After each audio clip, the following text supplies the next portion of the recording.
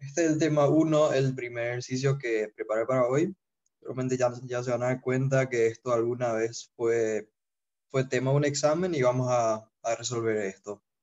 Dice, la, la, roseta de deformaciones a 45 grados está montada sobre el brazo de una retroexcavadora. Se obtienen las siguientes lecturas para cada medidor. E sub A 650 por igual a menos 5, epsilon sub B menos 300 y epsilon C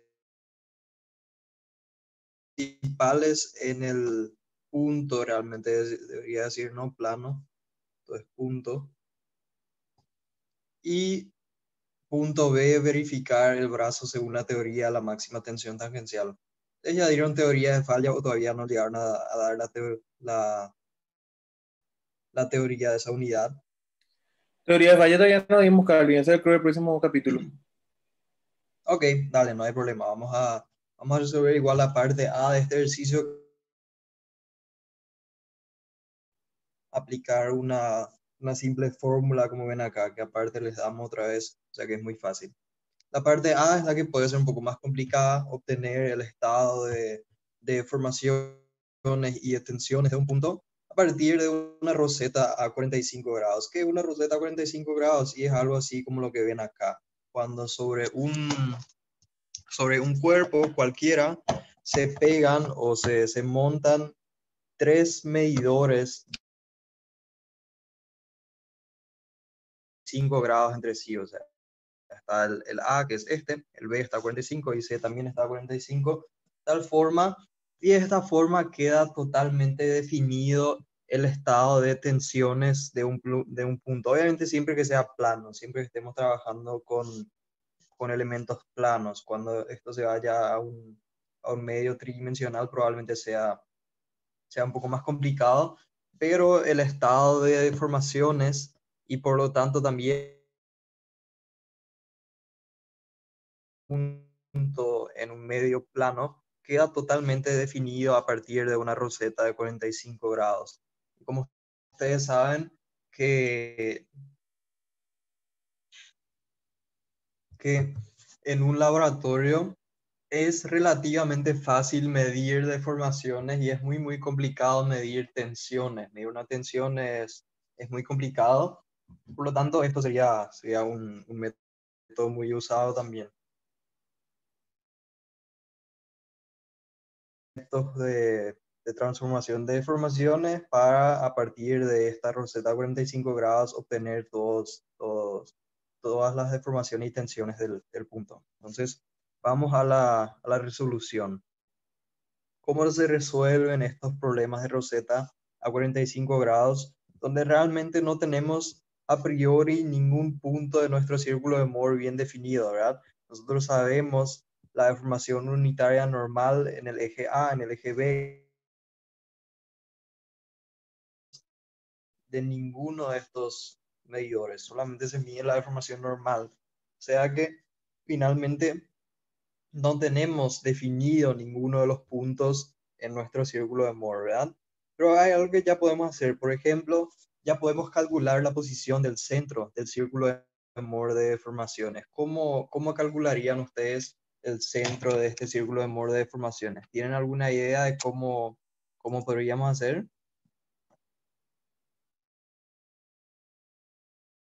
Suma, Cali?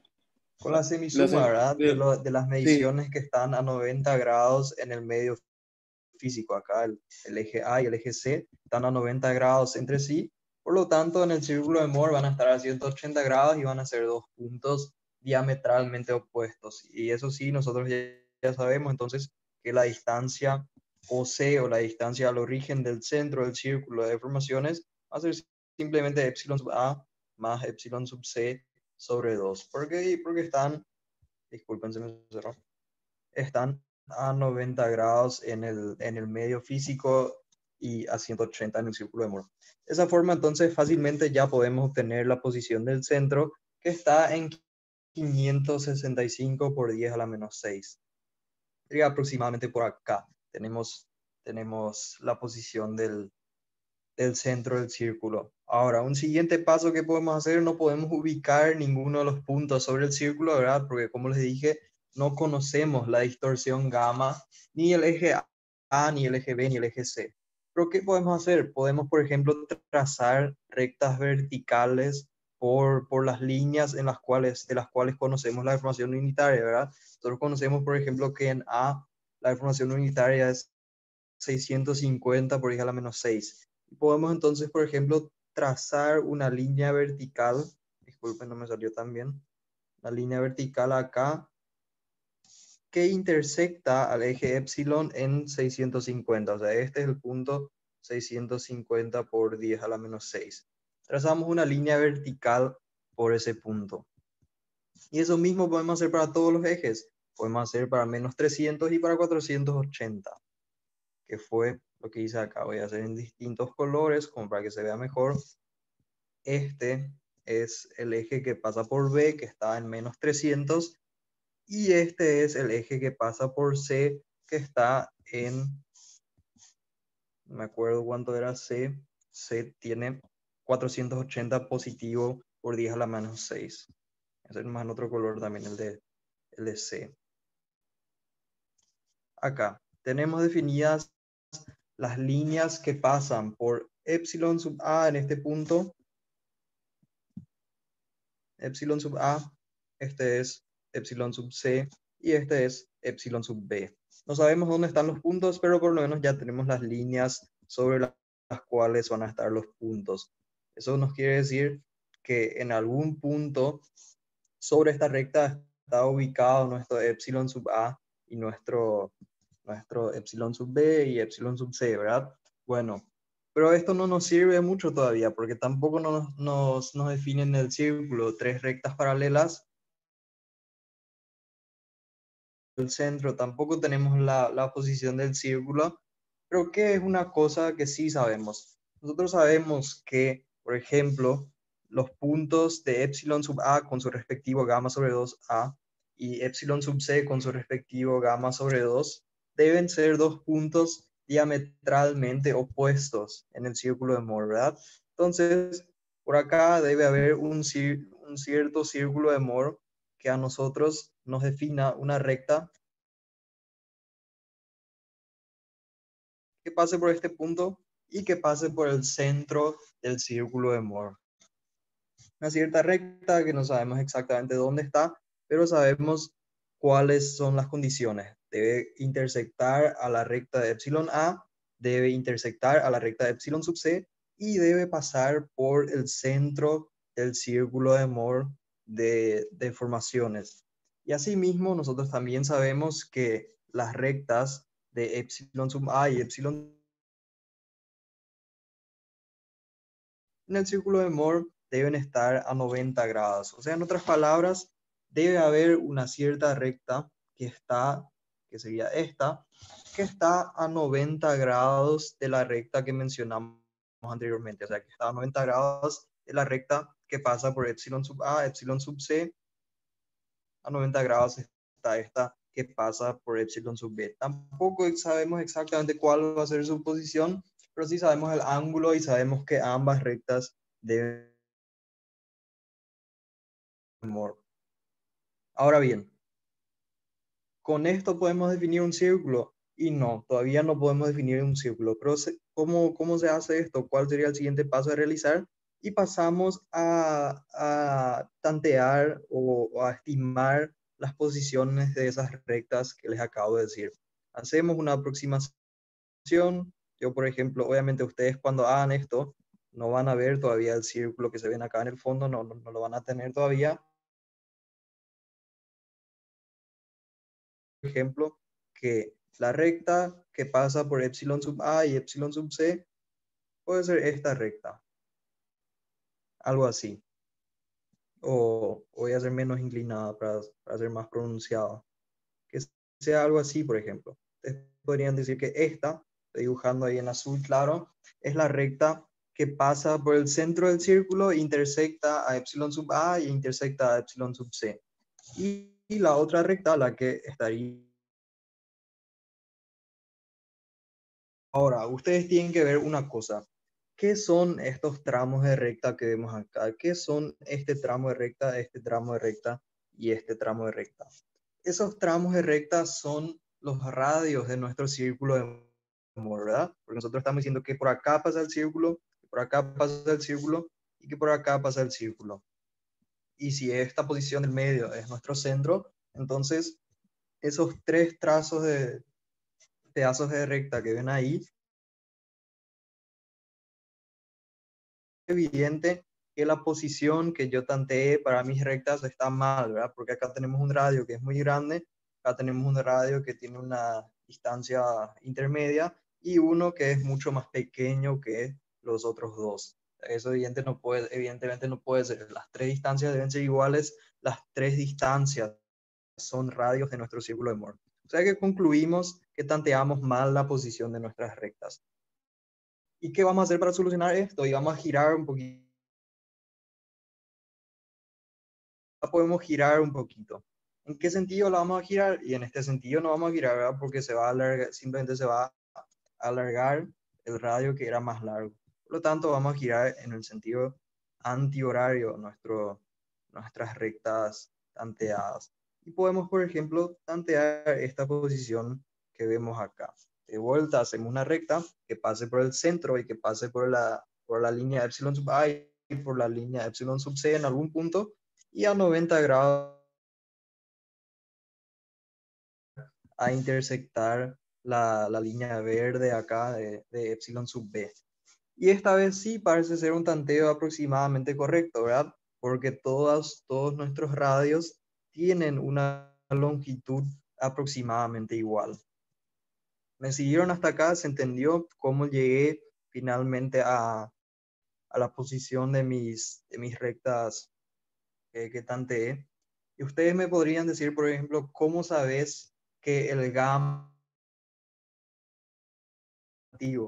y no sabemos realmente, es un simple, una simple suposición. Nosotros podríamos haber hecho esto mismo con la inclinación contraria, podríamos haber hecho esto y esto, y nos va a dar exactamente la misma situación, y es indiferente a, a cuál situación ustedes plantean, o sea, cuál de estos dos tanteos ustedes, ustedes plantean, porque finalmente el radio del círculo de Moore les va a salir exactamente el mismo valor. O sea, son, son válidas ambas opciones. Correcta y una forma incorrecta de asumir los signos de los, de los gamas. Sí, lo que es muy importante que la recta que pasa por epsilon sub a y epsilon sub c debe ser un diámetro del círculo y la recta, la otra, está a 90 grados del diámetro llega hasta intersectarle a epsilon sub p. Bueno, si me siguieron hasta acá, entonces ahora debemos hacer todavía, esto no nos sirve para calcular mucho, ¿verdad? Ya tenemos, tenemos un, un círculo en nuestra hoja sin mayores problemas. Pero ¿cuál es el siguiente problema? No sabemos todavía el radio del círculo de Moore. Y ahí sí, capaz alguien se acuerda por alguna por algún, algún teorema de, de, geometría, si tenemos dos triángulos rectángulos inscritos en una circunferencia y ambos tienen los mismos ángulos internos, entonces yo estoy diciendo es que tenemos un triángulo acá, este triángulo rectángulo, que tenemos un triángulo rectángulo acá, así. Estoy diciendo que si este ángulo es 90, entonces este ángulo chiquitito acá va a ser igual a este ángulo chiquitito acá y el ángulo en este extremo va a ser igual al ángulo que tenemos acá. Son dos triángulos semejantes inscritos. No tiene nada que ver con, con algún teorema de resistencia a materiales ni nada. Es una geometría. Y ahí sí ya tenemos resuelto nuestro problema, ¿verdad? Tenemos dos triángulos semejantes y aparte, si pensamos un poquito, podemos calcular el valor de los, de los catetos de esos triángulos. ¿Por qué? ¿Cuánto, por ejemplo, va a valer este cateto C1 cortito acá, este que vemos acá? Y este cateto es la distancia entre el centro del círculo de Moore hasta. El cateto de, de mi triángulo rectángulo que yo veo acá. Y casualmente ese cateto, por las propiedades de geometría, es igual al cateto que representa la distorsión angular del punto B, ¿verdad? Porque es esta distancia también. También vale C sub 1 por, por la semejanza de, de, estos dos triángulos. Y es ahí que nosotros podemos decir que el cateto 1, yo le llamé C sub 1, le puedo sub A menos OC epsilon, porque eso, esa es la resta que me va a dar esta pequeña distancia acá. Este caso vale 85 por 10 a la menos 6. Bueno, no conocemos todavía este cateto 2, pero también lo podemos determinar, ¿verdad? Porque si esto es cateto 2, entonces también este cateto 2 es igual y este cateto 2 es simplemente la distancia entre el centro y la línea que pasa por epsilon sub b, ¿verdad? Es simplemente esta distancia. Esa distancia sin ningún problema. ¿Cuánto vale este tramo, este pequeño pedazo? Vale epsilon sub b, ¿verdad? ¿Y cuánto vale esta distancia? Y vale OC epsilon. Como uno es negativo y otro es positivo, entonces hay que tener un poquito de cuidado y sumar ambos con su valor absoluto, sumar ambos con su valor absoluto, lo cual me da en total 865 por 10 a la menos 6. La, distancia o, el largo definido mi triángulo rectangular, conozco los dos catetos Aparte, yo sé que esta hipotenusa del triángulo rectángulo es un radio de mi círculo de Moore, porque es un triángulo que está inscrito dentro del círculo de Moore. Por lo tanto, muy fácilmente mediante Pitágoras podemos calcular el radio del círculo de Moore. Simplemente cateto 1 al cuadrado más cateto 2 al cuadrado, raíz de todo eso, me da el radio del círculo de Moore. Y ahí ya es tenemos definido OC epsilon, tenemos definido el radio epsilon. Ya podemos hallar absolutamente todo lo que nos interesa, ¿verdad? Podemos hallar, por ejemplo, epsilon 1, que va a ser OC epsilon más radio epsilon, y podemos hallar epsilon 3, que va a ser OC epsilon menos radio epsilon. Las deformaciones principales. Podemos hallar, por ejemplo, gamma sobre 2 máximo, que va a ser simplemente igual al radio del círculo de deformaciones, y las deformaciones en absolutamente todos los la deformación en un plano que está acá en el medio entre A y B, que está a, a, a, a ver, 45 dividido 2, 22,5 grados. Les interesa conocer la deformación en ese plano. Y bueno, entonces a partir del eje A se van a ir 22,5 grados en sentido antihorario, lo cual sería venir de acá en el círculo de Moore, obviamente nos vamos el doble. Hasta acá, a un punto. La deformación normal en este plano, sin absolutamente ningún problema.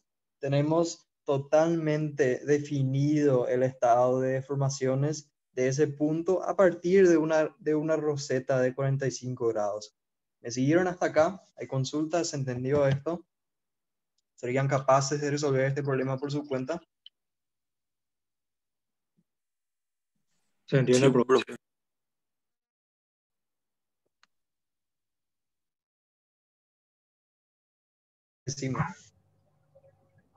La pendiente que vos elijas para tu diámetro entonces no importa. No, no importa, porque yo podría haber hecho exactamente esto en sentido contrario. Intentar que va a ser un poquito difícil hacer esto acá con, a ver, el eje gamma, el eje epsilon. Por acá está epsilon sub A, por acá está epsilon sub C y por acá está epsilon sub B. En posición del centro caía por acá. Esta pendiente para la recta. Es una recta así, algo así aproximadamente. Y bueno, entonces la otra va a ser esta. Ah, no me quedaron tan iguales ahora, le voy a inclinar un poquito más. ¿Sí? Algo así aproximadamente podría haber sido. Y de vuelta tenemos exactamente la misma situación. ¿Y cuáles van a ser mis triángulos semejantes en este caso? mis triángulos iguales. Mis triángulos iguales en este caso van a ser este cateto perdón, este triángulo que tenemos acá, no sé en qué color dibujar para que se vea bien. Hacer este triángulo que tengo acá, que por supuesto es exactamente igual al que está del lado contrario, pero comparar estos dos entre sí no nos va a servir de mucho porque no vamos a poder conocer los catetos y lo comparamos con este triángulo que tenemos acá.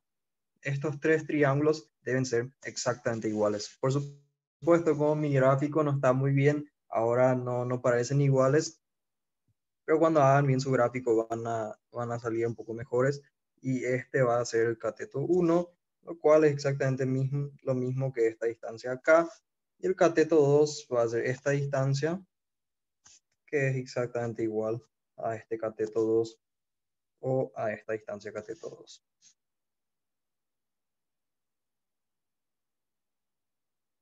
Calvin, todas las rosetas se trabajan de la misma forma, ¿verdad? O sea, tener que hallar el ángulo y Todas las rosetas a 45. Hay a veces otros problemas donde la roseta no está a 45 grados, sino está a, a, no sé, puede estar a 60. Y ahí lo único que tenés que tener en cuenta es que no se va a cumplir este tema de los ángulos que nosotros vimos Si, por ejemplo, yo te doy una ángulo es 30, entonces, no, perdón, vamos a hacer distinto una roseta así, epsilon sub A y epsilon sub C perpendiculares entre sí. Y otra epsilon sub B intermedia que está a, a 30 grados acá. ¿Cómo sería en ese caso?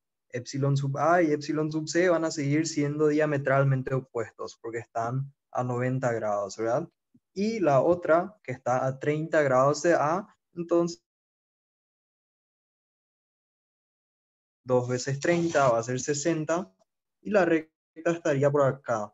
Y ahí con un, con un poquito más de geometría también van a poder solucionar esto, solo que van a tener que empezar a trabajar con los, con los ángulos internos de, las, de los triángulos, pero igual van a poder determinar el valor de estos dos catetos y, resolver el, problema. Solo que ahí este cateto 2 no va a ser igual a, a esta distancia de acá, sino que van a tener que buscar alguna otra, alguna otra relación con los ángulos internos de los triángulos que les permita, que les permita determinar el radio. Pero el procedimiento sería muy similar, solo que cambia un poquito los ángulos y, capaz tengas que buscar otra relación que no sea igualar estos catetos 2 y igualar estos catetos 1. Dale, gracias. Dale, de nada. Bueno, sí, por, obtenidas todas estas deformaciones o definido el estado de deformaciones, nos pide, por ejemplo, determinar el, el estado de tensión en el punto. Eso tampoco es complicado, ¿verdad? Seguramente ustedes ya vieron que hay unas ciertas relaciones entre el círculo de Moore de deformaciones y el círculo de Moore de tensiones. Tenía un ejercicio muy interesante donde les hacía obtener estas fórmulas para relacionar los círculos entre sí capaz algún día cuando tenga las relaciones se dan en función del módulo de elasticidad y del coeficiente de Poisson. Y el radio del círculo de tensiones es el radio del círculo de deformaciones multiplicado por E sobre 1 más mu. Y el OC del círculo de tensiones es igual al OC del círculo de deformaciones por E sobre 1 menos mu. Esta es la relación entre...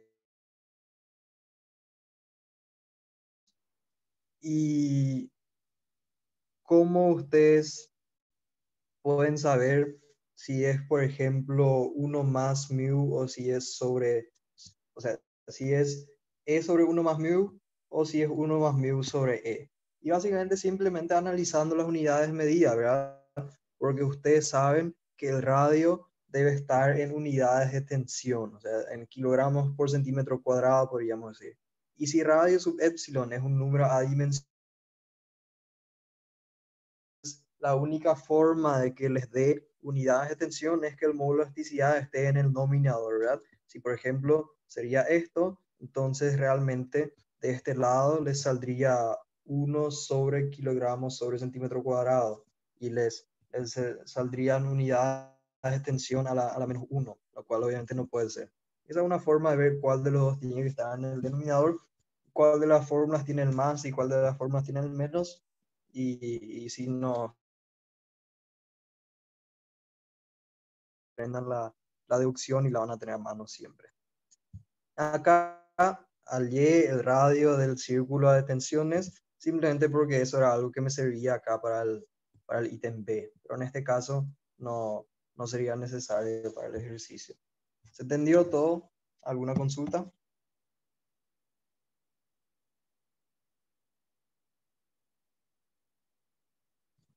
Ok, si no hay consultas, entonces vamos al siguiente ejercicio.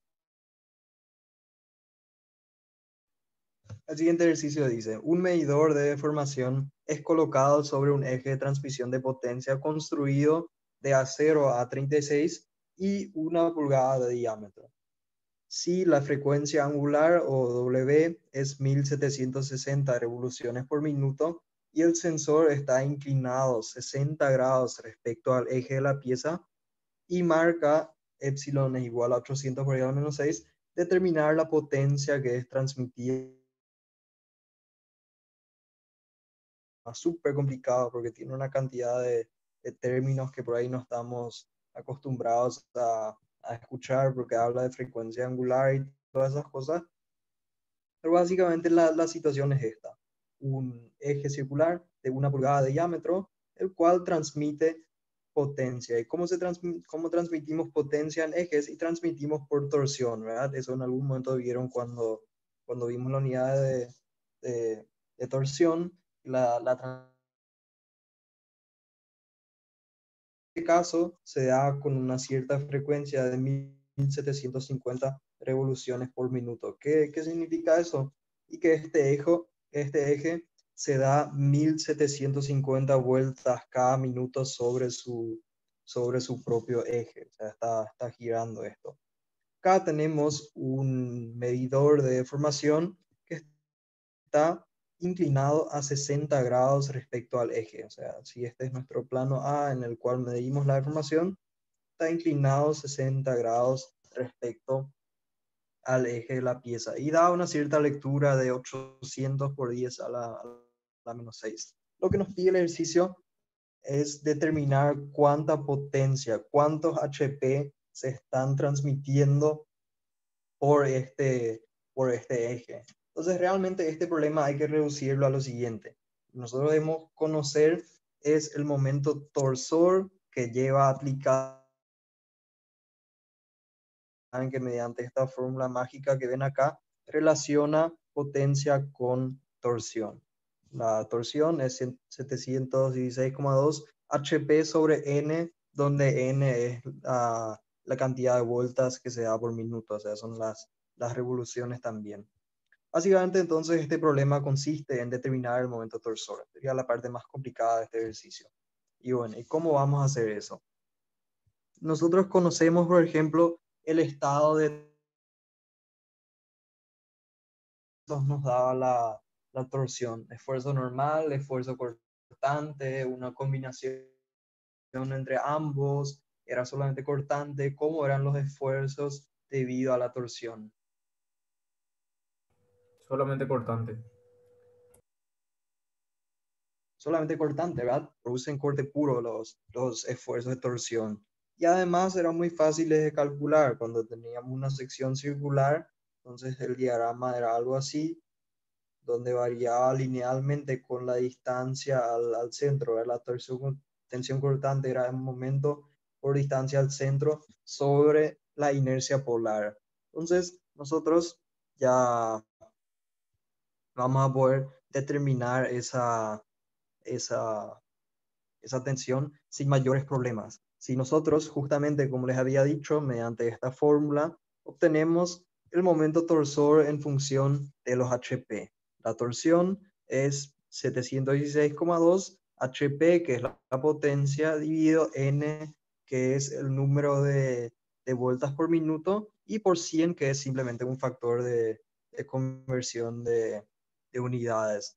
Entonces, si reemplazamos nuestra n, que acá en el enunciado le llamé w, pero esto realmente n es lo mismo, revoluciones por minuto, reemplazamos esto, entonces nos queda que el momento torsor es 20,69 veces la potencia expresada en HP. Ustedes saben que hay distintas, distintas medidas para la potencia. Está, por ejemplo, el CV, había algo con, con watts, cosas distintas. Esta fórmula está preparada para, para HP.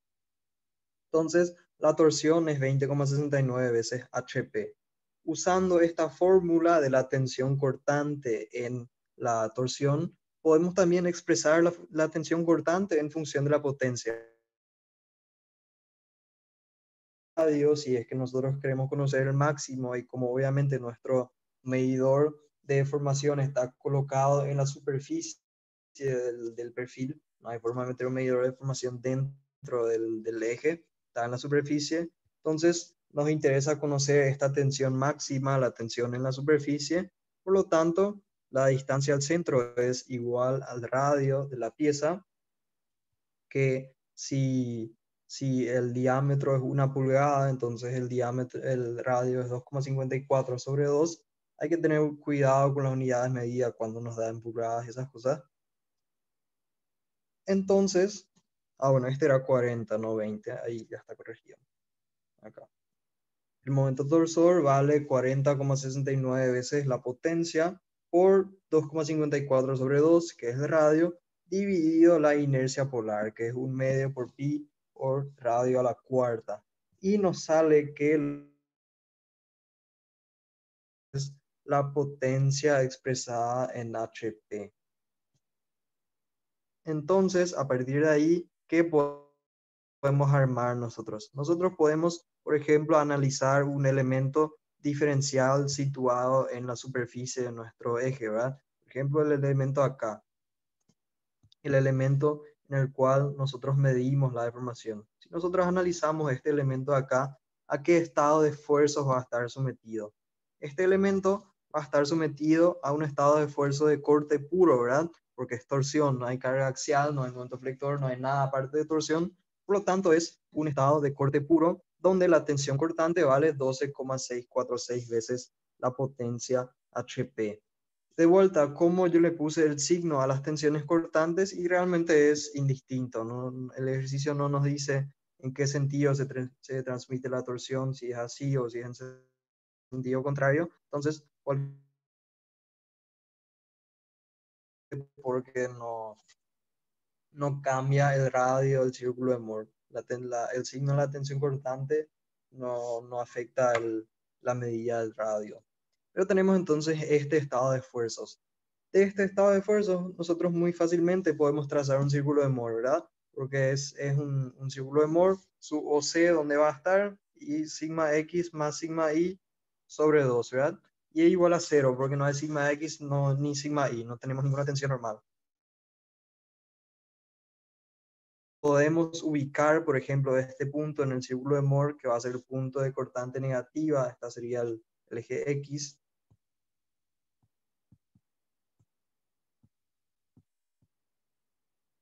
Este sería el eje Y, el de tensión cortante positiva, y ya tenemos totalmente definido nuestro círculo de Moore, que va a ser un círculo de Moore cuyo origen coincide con el origen del sistema de coordenadas y el radio es exactamente igual a, al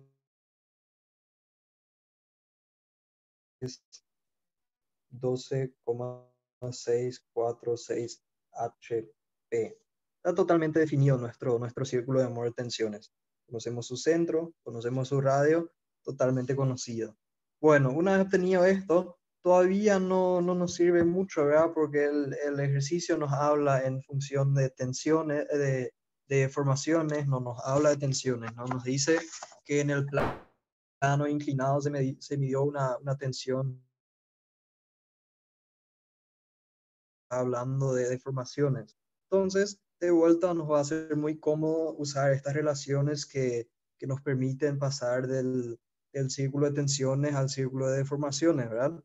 Usamos las mismas fórmulas que le había mostrado recién. El radio del círculo de tensiones, que para nosotros es conocido, es igual al radio de deformaciones por E sobre 1 más mu. De acá muy fácilmente, despejamos, entonces el valor del, del, del radio nuevamente, porque absolutamente todo lo que hacemos estamos haciendo en función de la potencia HP. Entonces, nos sale que el radio del círculo de formaciones es 8,4 por 10 a la menos 6 HP. Sigue siendo función de la potencia.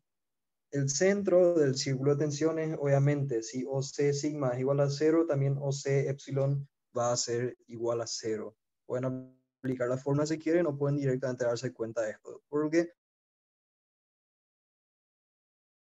y tensiones y son finalmente círculos concéntricos. Si, si el círculo de uno, si el origen de uno de los dos está sobre el, sobre el origen de coordenadas, también el, el, el centro del otro círculo está sobre el origen de coordenadas. Entonces, OC epsilon es igual a OC sigma es igual a cero. Y tenemos totalmente definido nuestro círculo de tensiones, que es el que grafiqué por acá, el círculo de tensiones. Su radio vale el valor que habíamos determinado acá, 8,346 HP.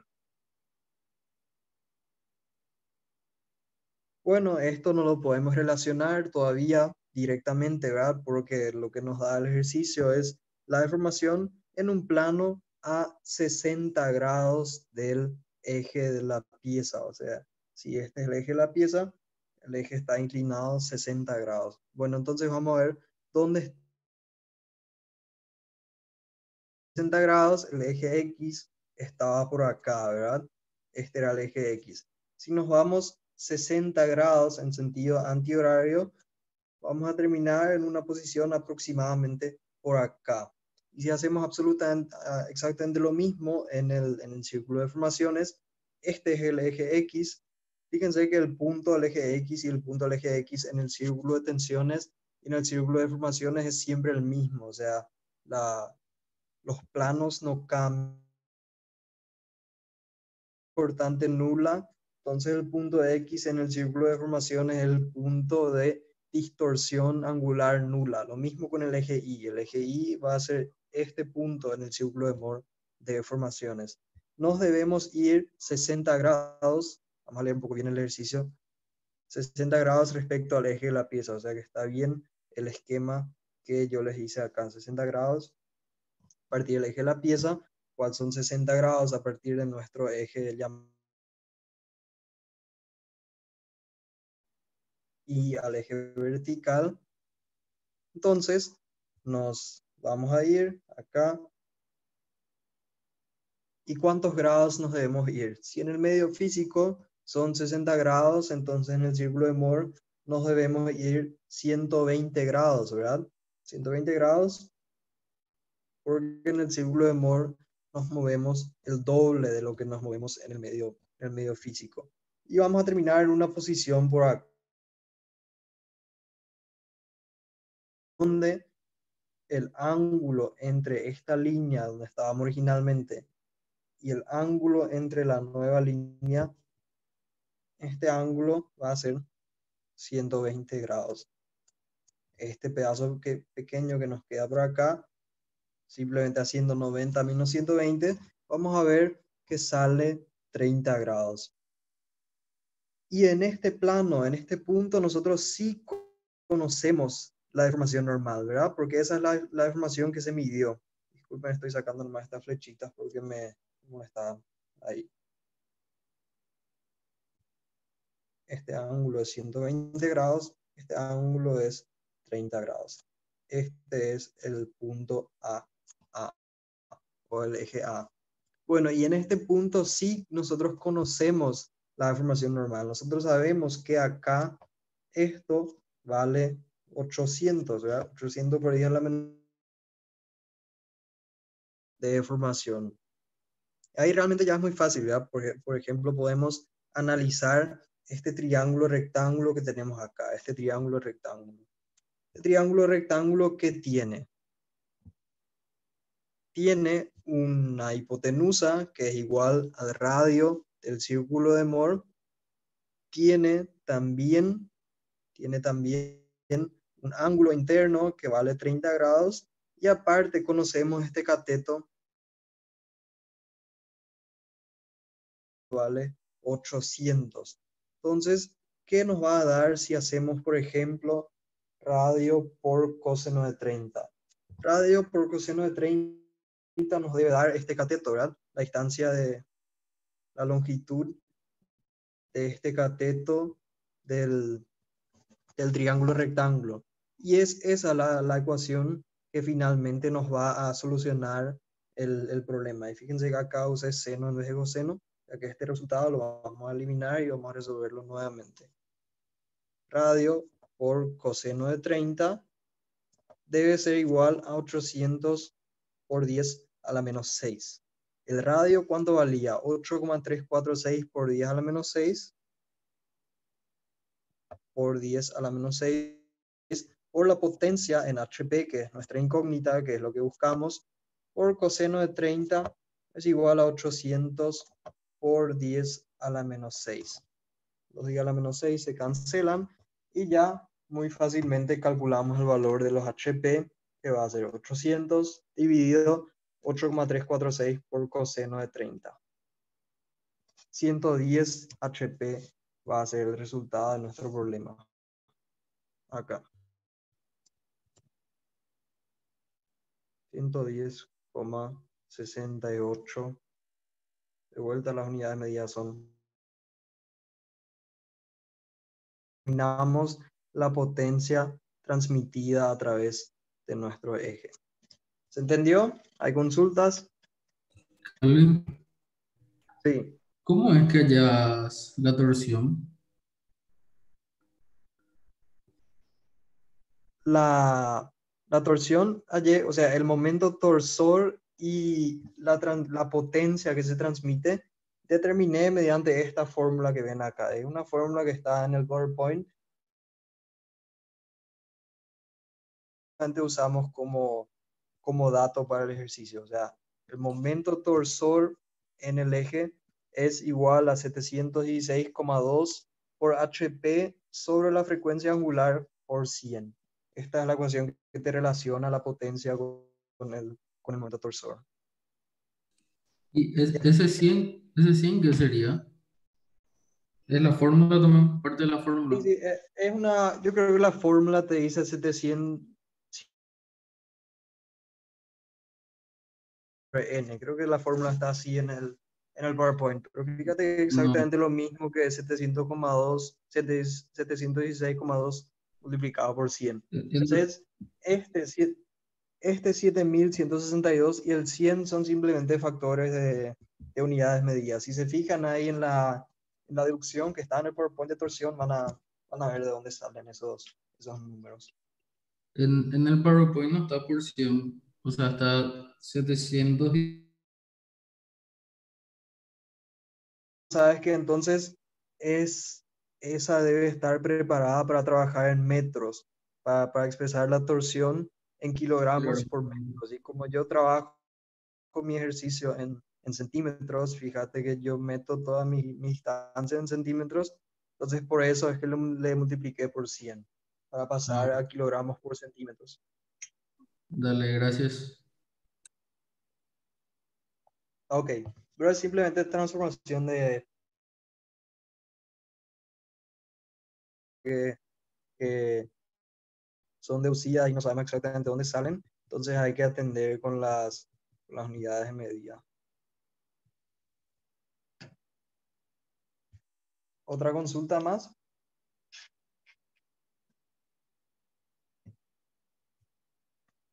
Ninguna consulta. Ok, entonces vamos al último ejercicio que había preparado para hoy. Dice, en el cilindro de la figura se colocó un lector de deformación epsilon en el plano AA. Determinar el aumento de temperatura delta T al cual fue sometido, fue sometida la estructura si epsilon sub AA es menos 4 por 10 a la menos 5. Y le da los datos del módulo de elasticidad, el coeficiente de Bosó y el coeficiente de, dilatación térmica del, del, material. Este es el cilindro que se ve de abajo existe una pequeña holgura, después puede llegar a tocarle al, al, a la pared y en este plano está la medición del medidor de, de deformación a 45 grados del eje de la pieza. El diámetro del, cilindro es 3 centímetros, la longitud 2 metros y la holgura 0,2 centímetros. Bastante fácil de, de entender el ejercicio, ¿verdad? Bueno, entonces, ¿qué vamos a tener acá? Sentarse se va a ir expandiendo, obviamente, ¿verdad? Se expande hasta que en algún momento llega a tocar la pared rígida, o sea, que se cierre esta holgura que ven en ese punto.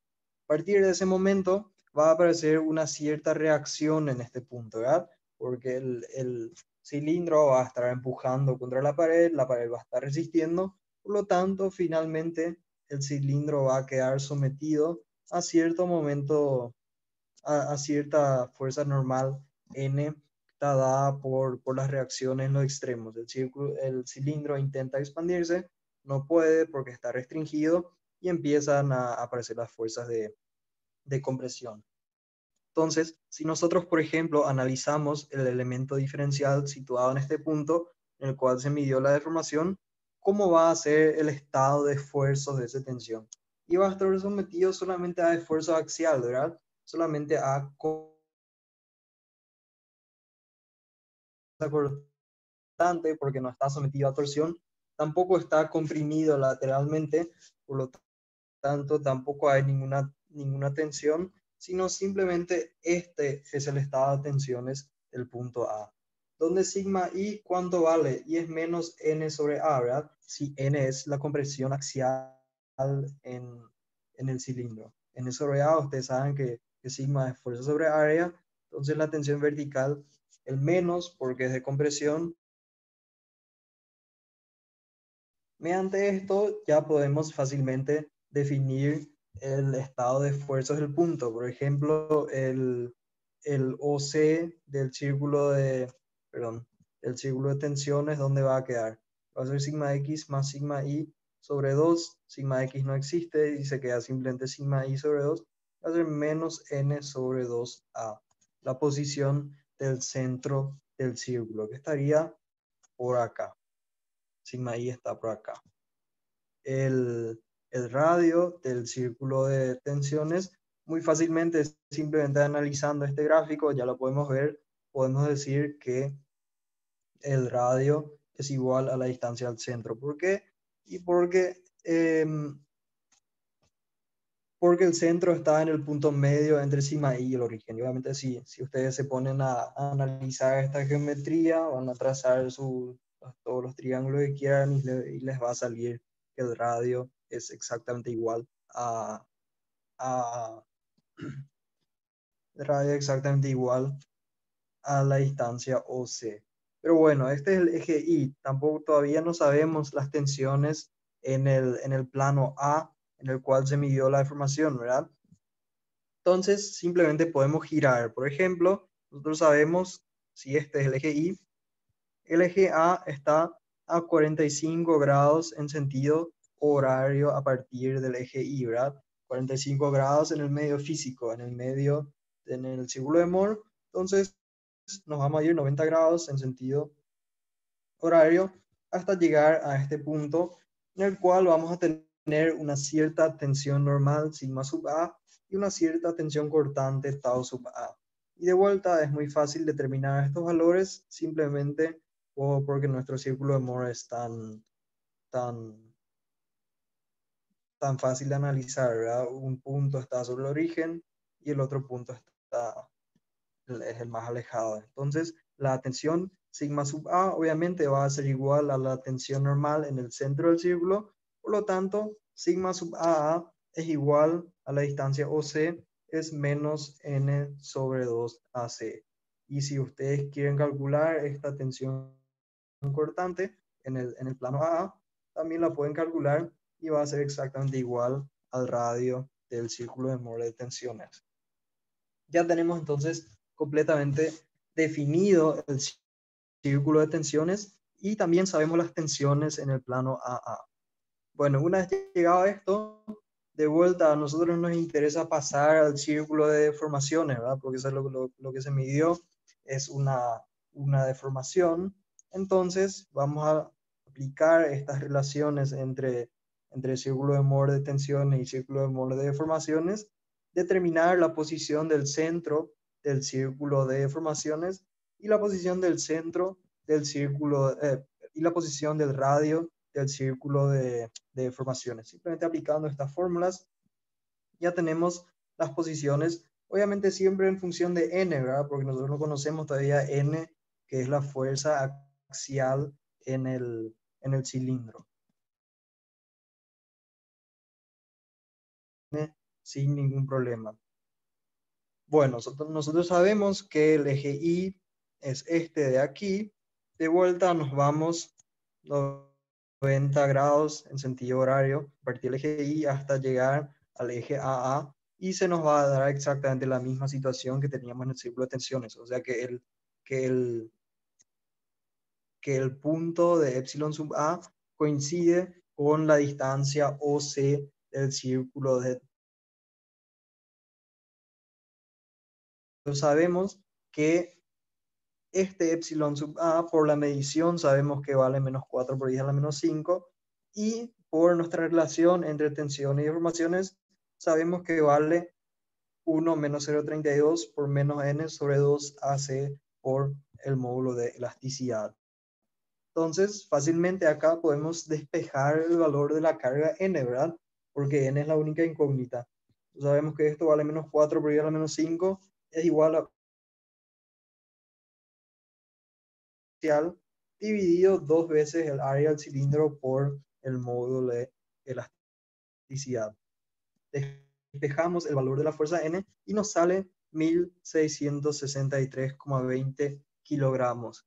Y como yo inicialmente ya le había puesto un negativo enfrente, o sea, había asumido que es de compresión, entonces que me salga positivo significa que mi hipótesis está bien, ¿verdad? O sea, que el cilindro realmente está...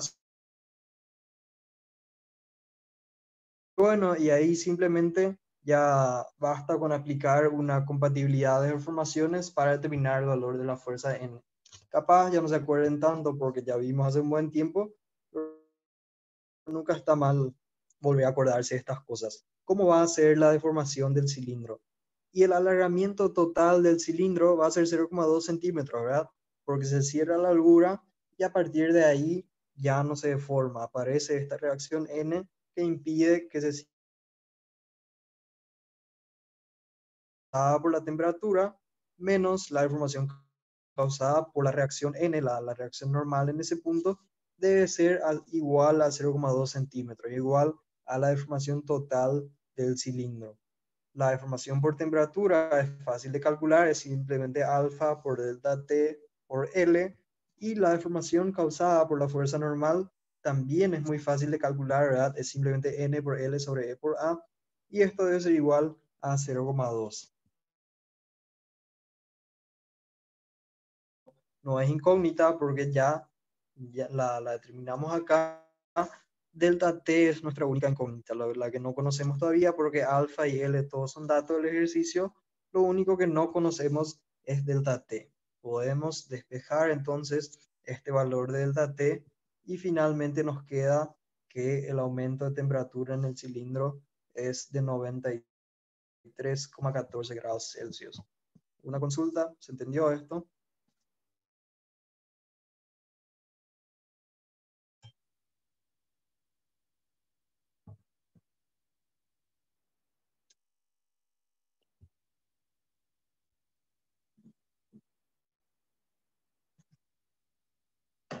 Ok, si no tienen consultas sobre los ejercicios que, tienen, que, hicimos, también pueden hacer consultas sobre, sobre las tareas o algo para el taller de mañana, algo que, que, necesitan que se les responda. Adelante.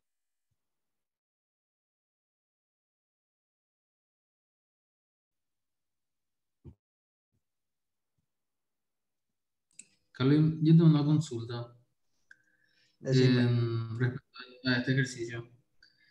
Eh, Viste que vos graficás primero tu círculo de amor de tensión, ¿verdad? Sí. Y, y yo no puedo hacer aplicando la ley de Hooke eh, eh, para en vez de graficar, digamos. Em, a ver, ¿cómo aplicarías la... Para hallar epsilon x y epsilon y.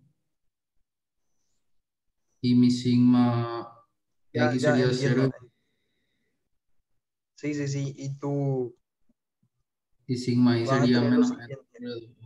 Vas a tener sigma x es igual a 0 y sigma z es igual a 0. Sigma y va a ser desconocido. Epsilon x va a ser desconocido. Epsilon z va a ser desconocido. 0,2 sobre longitud. Y aplicas toda la ecuación y muy probablemente te salga el, el mismo resultado. Sí cuidado que tenés que usar la ley de Hooke completa, o sea, esa que, que primero tenía la parte de las tensiones y le agregábamos alfa por delta t. Y no, este va a salir el mismo resultado. Ya, dale, gracias. Dale, de nada.